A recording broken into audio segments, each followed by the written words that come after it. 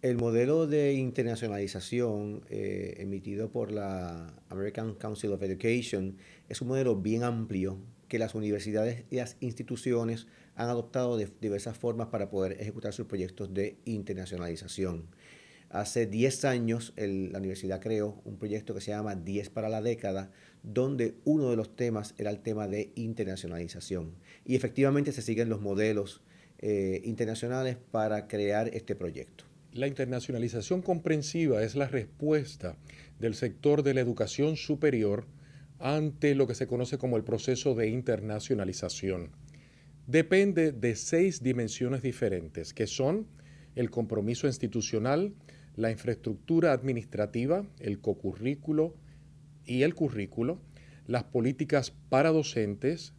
asuntos que tienen que ver con la movilidad estudiantil y colaboraciones. En otras palabras, que una institución de educación superior tiene que moverse en, dentro de estos seis renglones o dentro de estas seis dimensiones. Eh, la universidad,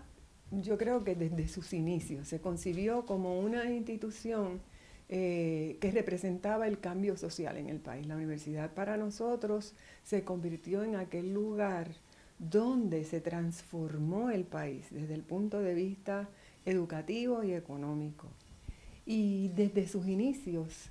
el componente internacional fue parte muy importante. Y desde 1931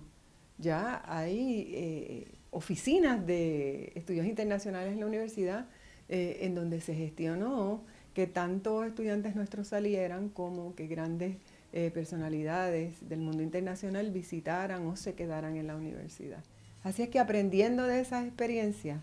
pues la universidad ha desarrollado un modelo de internacionalización, que es el que perseguimos ahora mismo,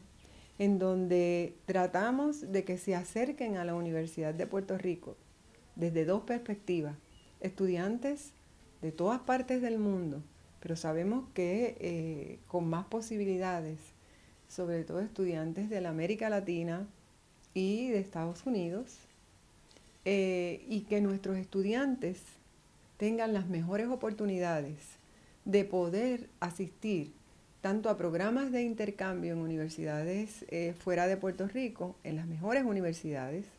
y estudiantes que luego de terminar sus primeros años de estudio hayan sido examinados para seguir estudios graduados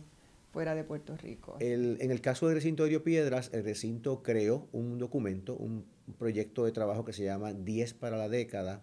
eh, y Visión Universidad 2016.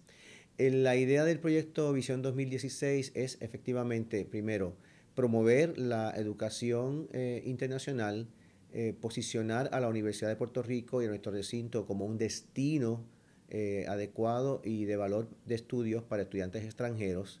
propiciar la movilidad estudiantil y la movilidad docente, tanto en programas de intercambio como en programas de estudios, y propiciar que un mayor número de estudiantes de nuestro recinto sean elegibles y tengan una oportunidad de tener una experiencia de intercambio en algún momento de su vida universitaria.